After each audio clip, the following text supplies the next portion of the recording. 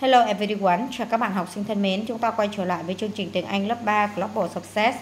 Và hôm nay chúng ta à, cùng nhau à, quay trở lại à, với cái đề thi à, cuối học kỳ 2 nha. Một cái đề thi mẫu của chúng ta, đây là phần nghe.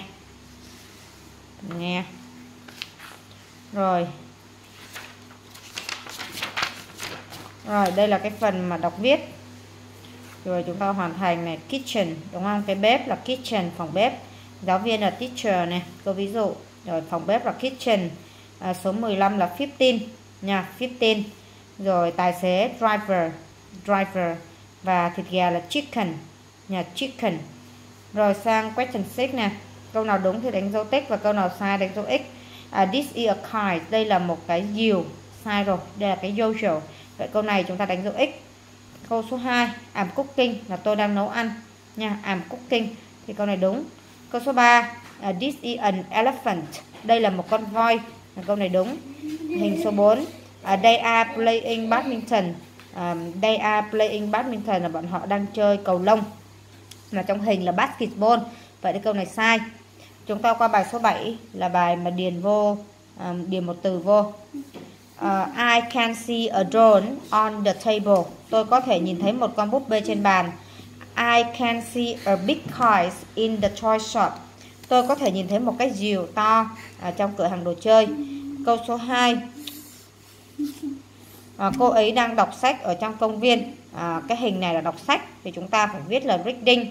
Câu số 3, bạn có muốn ăn cá hay không? Cá là fish nhá. Would you like some fish?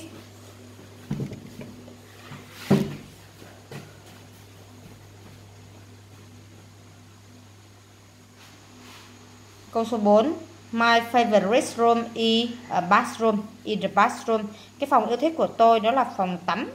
Chúng ta qua câu số 8 Bài số 8 đó là sắp xếp. À, Câu số 0 0 Đó là câu ví dụ. This is my brother. This is my brother. Đây là anh trai của tôi. Câu số 1 How old is your father? How old is your father? Bố của bạn bao nhiêu tuổi? Câu số 2 There is a garden over there.